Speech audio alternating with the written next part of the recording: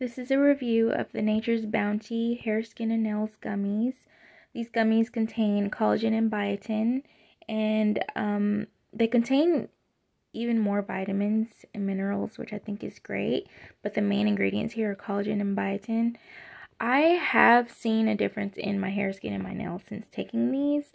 Um, my nails are growing pretty fast, my hair is growing fast, and my skin just looks much more healthier and it looks more moisturized.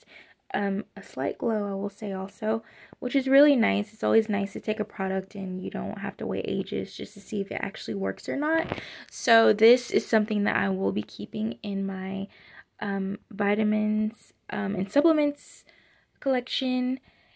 So let's take a look here on the back. Here's some of the other vitamins that it contains. It contains vitamin E, vitamin C, and just a tiny bit of sodium. But yeah, like I said, the main ingredients are biotin and collagen, which you get plenty of biotin, which is extremely important. And you get some collagen. And you're only supposed to take two a day as an adult, just two a day. Comes with 80 gummies, which is really awesome because that will last you a good while. And just Nature's Bounty as a whole is a really great brand. I have not had any issues as far as allergic reactions or anything like that. So that's always nice.